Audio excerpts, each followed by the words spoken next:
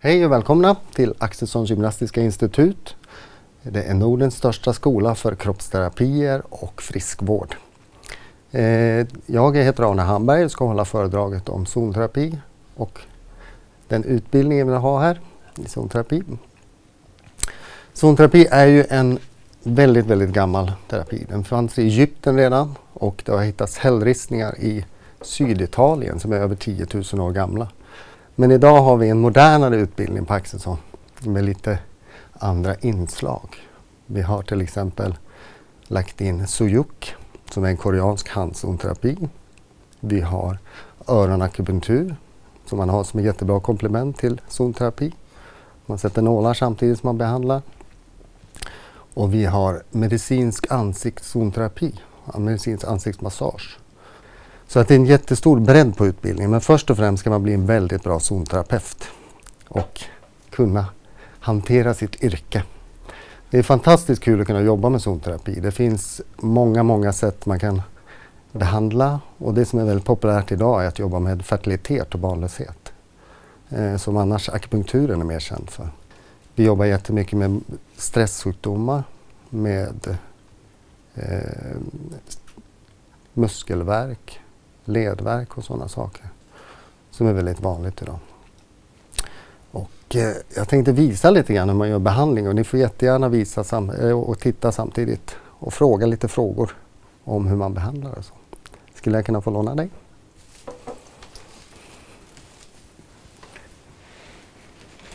Varsågod. Oj. När man behandlar zonterapi så är det ju lite grann känt för att det gör väldigt, väldigt ont. Men här på Axelsson försöker vi anpassa styrkan efter den som blir behandlad. Så man inte går över personens smärttröskel. Det är annars ganska känt att man kör in en pinne i foten. Och på Axelsson jobbar man överhuvudtaget inte med pinnar utan man jobbar med bara händerna. Gör det ont? Lite. Lite grann. Det är så man ska, man ska arbeta. Det, det ska kännas att det gör ont. För det, smärtan är en del av nyckeln. Att där det är ont, där är det något problem. Men det är egentligen inte så enkelt. Med zonterapin som man jobbar idag så är det mycket mera eh, man letar efter tecken. Man letar efter värme. Det kan, foten kan vara väldigt varm, den kan vara kall, den kan vara hård, det kan vara knastrigt. Det kan vara olika tecken. Så att det, man har tagit zonterapin mycket längre och det arbetas ju hela tiden med att modernisera och få fram nya idéer och tankar och så med zonterapin och även andra behandlingar. Så att eh, man, man, kan komma mycket längre med behandlingen idag än vad man har gjort förut. Så då jobbar man mycket mer med bara smärta. Nu försöker man att leta orsaker och knaster. Som ett vanligt problem är till exempel naggont. Whiplash är ett jättevanligt problem. Och där har man en enorm fördel med att jobba med fötterna. För att om man går på direkt på nacken eh, så kan man trycka fram en muskelstelhet igen om man knådar dig. För att muskel, med en whiplash så sätter man igång muskelminnet. Och eh, i zonterapi där jobbar man ju väldigt långt ifrån symptomområdet.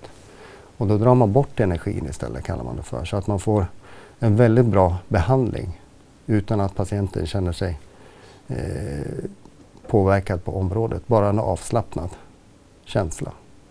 Och det är ett jättevanligt problem som också många söker. Va?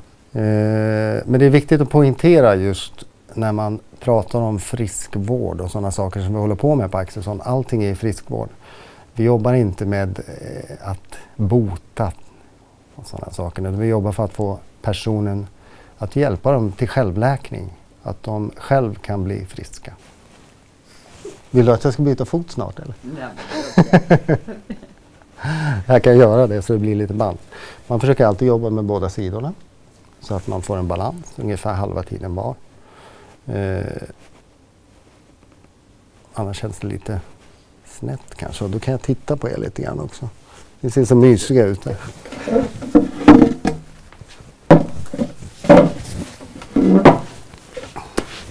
Nu, är den här, nu skulle jag önska att ni kunde komma fram och känna men det är en väldig skillnad i värme på de här fötterna. Så det har ökat cirkulationen ganska mycket förkunskaper? Eh, för utbildningen så går man först en grundkurs eh, som är på fyra dagar. Som är en eh, hemma hos-kurs kan man säga egentligen. Så man behandlar sina nära och kära och kan hjälpa till med enklare problem. Sen innan eller under kursen så läser man en basmedicinsk del som är åtta högskolepoäng. som man behöver faktiskt för att arbeta med zonterapi och ett jättebra komplement för att förstå vilken diagnos de kommer med till exempel. Och det är jättebra att förstå skolmedicinen för att vi vill ju ha ett samarbete däremellan också. Att vi ska överbrygga problem och vi ska dela kunskaper med varandra. Så att det, är, det är framtidens vision att, att ha mindre glapp mellan skolmedicinen och alternativa mediciner. Yrkesutbildningen är uppdelad på sju veckor under ett år eh, och det är sex dagar per period. Och då har man många elevbehandlingar under lärarinsikt.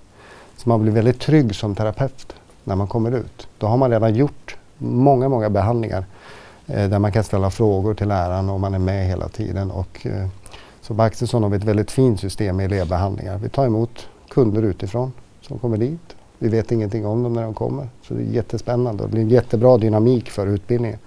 Och varje steg man tar när man jobbar med medicinsk ansiktsmassage till exempel, då lägger man in det i elevbehandlingen så att man får öva det på skolan också. Och, eh, men framförallt är det ju zonterapin man jobbar jättemycket med. Eh, sen ska man ha elevbehandlingar hemma som man också kompletterar med så att det är en väldigt praktisk utbildning.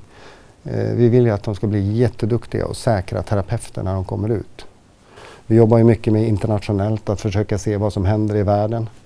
Eh, det är en otrolig utveckling i hela världen på alternativa mediciner och alternativa behandlingar.